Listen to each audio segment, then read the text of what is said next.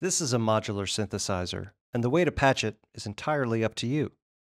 This video is intended to provide you with an initial patch for using the new Universal Synthesizer system modules, but it is by no means a default patch, nor is it the correct patch.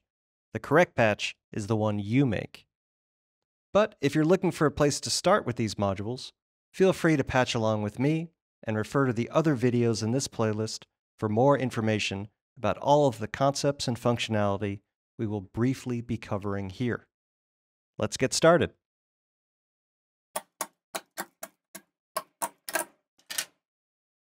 Multiwave, PoliMATHS, and the pair of QXGs are all connected under the hood with the chain cables that are supplied with each module. This normalizes a signal path of audio from the multiwave, amplitude modulation from PoliMATHS happening at the QXGs.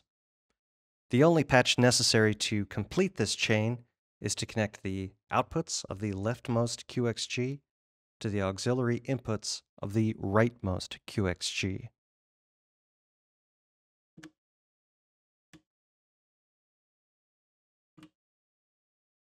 And we'll monitor the outputs of the rightmost QXG.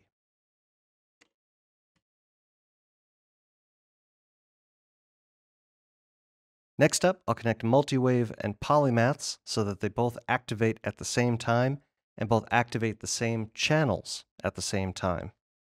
This is just one example of the ways in which these two modules can be connected. It is by no means the only way. This one should just get you started the most quickly. On PoliMATHS, you'll want to be in channel index mode. That's the one where the display glows in white. Set the span panel control to noon, and the span CV attenuverter fully clockwise. When these two settings are in place, this display will glow especially bright, indicating that PoliMATHS is now ready to accurately follow channel index voltages. On multi-wave, I'll connect the channel index output to the span CV input on PoliMATHS.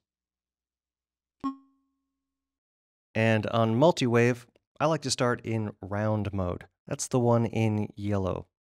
As with PoliMATHS, use the mode button to select between the activation modes.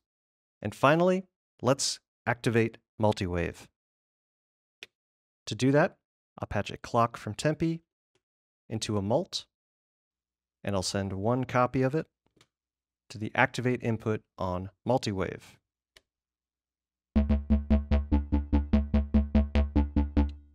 As we can see, as multiwave advances through its channels, PoliMATHS advances in tandem. With span set to 1 in round mode, multiwave will advance sequentially through its eight channels, one channel per activation.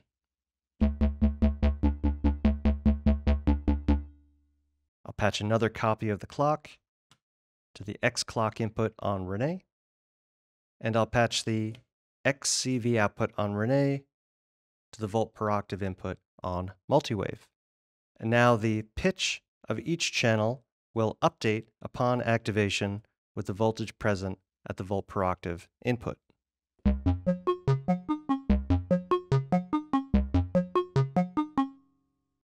If we increase the fall time on PoliMATHS, we can hear these notes overlap.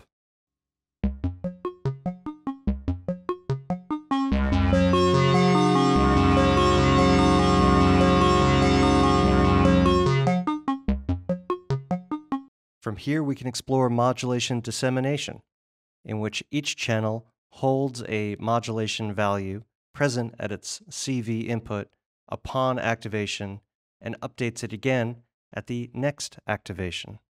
I'll patch a gate out from press point to the fall CV input on PoliMATHS, and I'll set its attenuverter clockwise.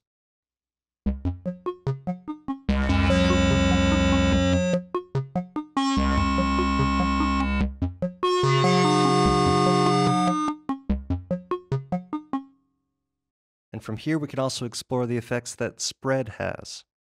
I've set the oscillation attenuverter fully clockwise, And if I set spread in a clockwise direction, then the rightmost channels will be affected more by oscillation than the leftmost channels.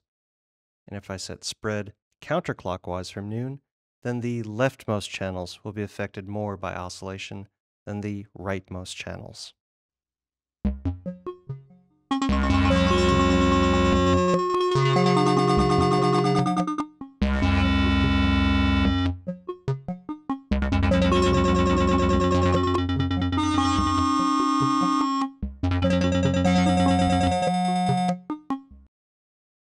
Hopefully, this patch provides you with enough of a starting point from which you can explore further.